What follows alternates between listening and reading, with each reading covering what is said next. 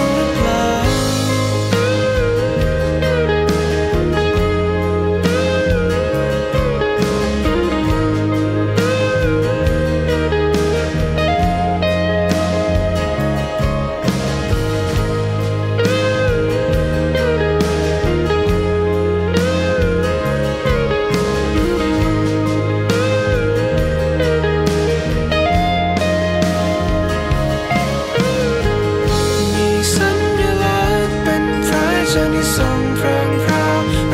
sprang